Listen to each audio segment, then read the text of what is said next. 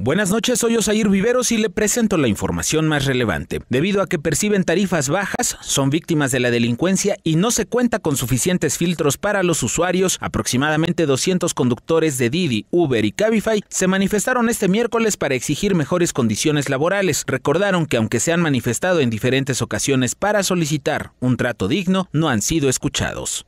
Este 23 de marzo se cumplía un año de que las clases presenciales fueron suspendidas a causa de la pandemia y durante todo este tiempo al menos 5.017 estudiantes poblanos abandonaron la escuela. 1.416 de ellos cursaban el bachillerato, 1.241 el preescolar, 1.459 la primaria y 856 la secundaria. Así lo informó el secretario de Educación Pública en el estado, Melitón Lozano. El funcionario consideró que el problema de la deserción escolar no es grave si se tiene en cuenta que a lo largo de todos estos meses en Puebla, 1.762.482 estudiantes han seguido el ciclo escolar a distancia.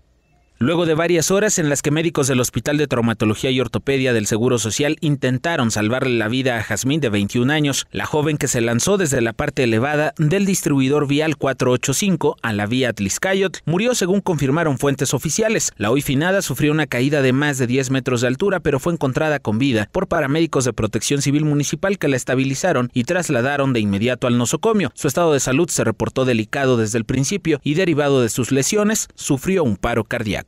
Industrial de Abastos del Ayuntamiento de Puebla es el único recinto que ofrece el servicio de sacrificio en el municipio, con una cifra mensual de 15.000 animales aproximadamente entre cerdos y reses, informó el encargado de despacho Marco Antonio Márquez Montiel, quien comentó que de acuerdo con datos del Servicio de Información Agroalimentaria y Pesquera, al cierre de 2020 Puebla se situó como el tercer estado con mayor producción de cerdos. Puebla produce 155.535 toneladas, lo cual resalta la importancia de que los porcinos sean sacrificados mediante un proceso inocuo.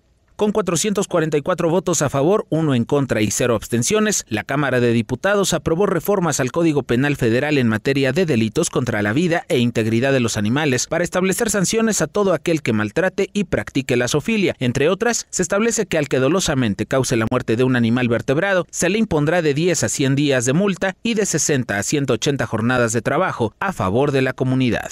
Para más noticias, consulta el portal tribunanoticias.mx.